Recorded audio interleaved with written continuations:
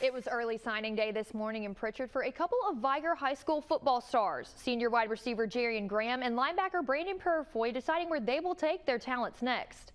Signing day. It's a day many student athletes dream of. Putting pen to paper and taking that next step on the journey to play college football.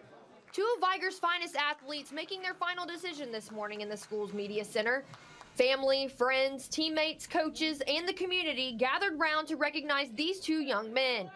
Up first, it was Purifoy, who head coach Marcus Cook says any program would be lucky to have. Someone's getting an asset. Someone that's going to play filthy physical football. That's going to play it the Vigor way and do what they're supposed to do, be where they're supposed to be all the time. Brandon had interest from a number of schools, but today it came down to one. Next one, I'll be attending Mississippi Valley State University.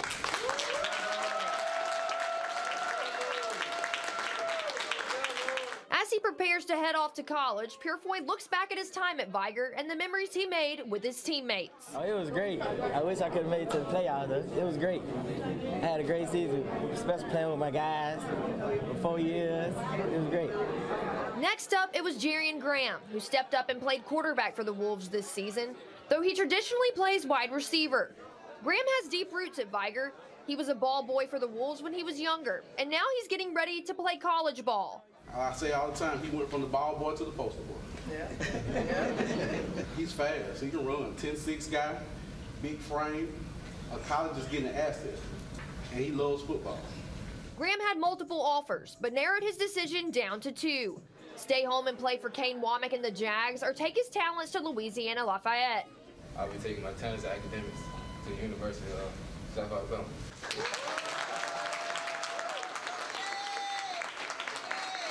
It's been quite the journey for both athletes to get to this point. I spoke with Graham about the recruitment process and the chance to be close to home. In my ninth grade, 10th grade year, I didn't have too many schools looking at me, so I was thinking like, oh man, I probably won't be able to go to college to play football. But after after the spring of my 11th grade year, that's when everything started to pick up and come through. And after that, it's been stressful. But after I committed, everything kind of died down. And then now, since I've signed, everything's going to be good. To be a, I want to be a hometown hero. Congratulations to Jarian and Brandon. We wish them the best of luck in their futures as they continue to do what they love at the next level. In other sports news, the Alabama High School Athletic Association announced its reclassifications for the 2024 through the 2026 seasons, meaning some of our teams will be playing in new classes next year. In football, the Robertsdale Bears will be moving up from Class 6A to Class 7A next season. Meanwhile, the road through 6A will be even tougher as the reigning 5A state champion Gulf Shores Dolphins will also be moving up a class. The new 3A state champion Mobile Christian Leopards will now move up to Class 4A, while Bayside Academy will move down from 4A to Class 3A. Over in volleyball, Bayside Academy has won state championships in classes 1A through 6A and will now look to win one in every class when they join Class 7A next season. Reporting live in studio, I'm Emily Cochran, Fox 10 Sports.